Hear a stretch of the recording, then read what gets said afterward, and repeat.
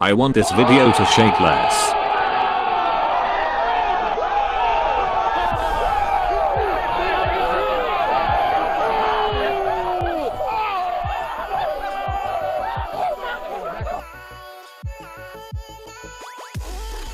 Go to Video FX.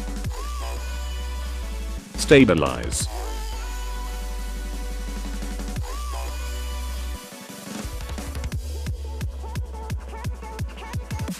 And drag the stabilizer in your video. You can do it multiple times.